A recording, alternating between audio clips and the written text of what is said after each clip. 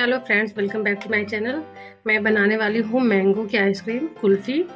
तो ठंडे सॉरी गर्मी का सीज़न है तो कुछ ठंडा खाने में बहुत मज़ा आता है तो कर लेते हैं इसको कट मैंगो को। और आजकल मैंगो बहुत आसानी से मिल जा रहा है मार्केट में तो कोई दिक्कत नहीं है। देखिए इसको कर लिया है कट और बस इसको करना है मिक्सर में ग्राइंड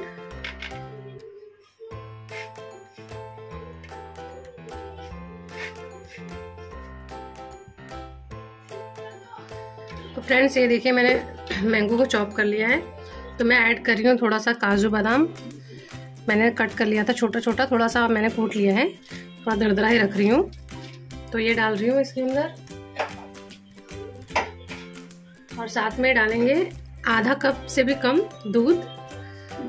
और ये ऐड कर दिया है इसके अंदर। और अपने हिसाब से आपको जितना मीठा खाना है उस हिसाब से ऐड करेंगे शुगर तो मैं दो चम्मच दो चम्मच से मतलब तीन चम्मच के आसपास थोड़ा कुल्फ़ी मीठी होती तो अच्छा लगता है. तो तीन चम्मच मैंने ये ऐड कर दिया है. और अभी इसमें कुछ भी नहीं ऐड करना है. अगर आप लोग के पास केसर हो तो थोड़ा सा केसर भिगो के ऐड करेंगे तो उसका फ्लेवर बहुत अच्छा आता है. तो मेरे पास नहीं है. कि हमें इसमें कुछ नहीं ऐड करना है. बस अब करेंगे इसको ग्राइंड तो फ्रेंड्स देखिए, मैंने ये बैटर बना लिया है। आइसक्रीम जमाने के बिल्कुल स्मूथ बैटर होना चाहिए। तो बस अब इसको जमाने का कुल्फी में ऐड करते हैं। तो फ्रेंड्स ये मैंने काजू और पिस्ता ले लिया है। थोड़ा सा कट कर लिया है। तो मैं पहले थोड़ा थोड़ा इसमें ऐड करूँगी। थोड़ा उसमें भी ऐड किया है, लेकिन इसमें टेस्ट बहुत अच्छा आने वाला है। तो मैंने ऐड कर लिया है। तो बस अब इसको ऐड करेंगे, ये मैंगो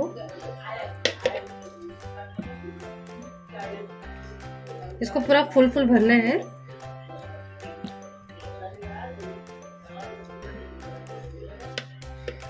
तो फ्रेंड्स ये देखिए छः में एकदम फुल भर चुका है। तो बस अब थोड़ा थोड़ा सा काजू और पिस्ता का ऊपर से भी हल्का सा गार्निश करेंगे अच्छा लगेगा। तो पड़ा हुआ है तो ऐड कर लेते हैं इसमें क्या होगा? थोड़ा थोड़ा डाल लेते हैं।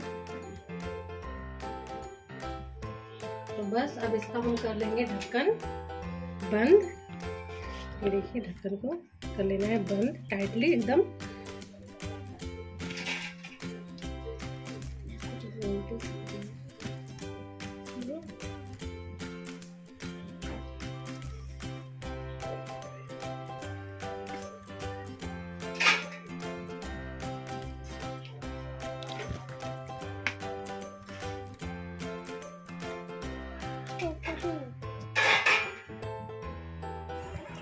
अब मैं इस कुल्फ़ी को ओवरनाइट के लिए फ्रीज़र में रखने वाली हूँ।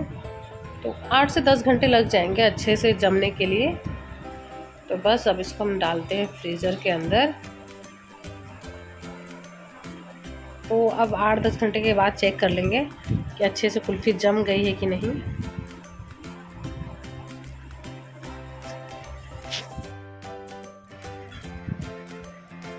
तो मैंने इसे ओवरनाइट रखा हुआ था। चेक कर लेते हैं। नीचे से मैंने हल्का सा पानी में थोड़ी देर के लिए रख दिया था मतलब कुछ सेकंड के लिए। तो निकालते हैं चेक करते हैं, हो गया है कि नहीं। ये देखिए कितने अच्छे से जमा हुआ है।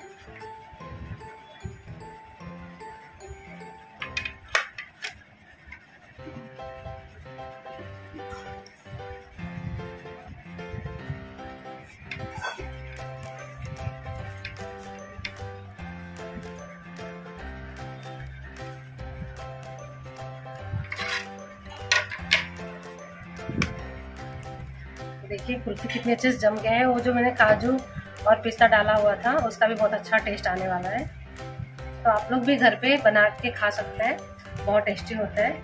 तो अगर वीडियो पसंद आया हो तो प्लीज़ लाइक शेयर कमेंट करिए। मिलते हैं नेक्स्ट वीडियो में। Bye bye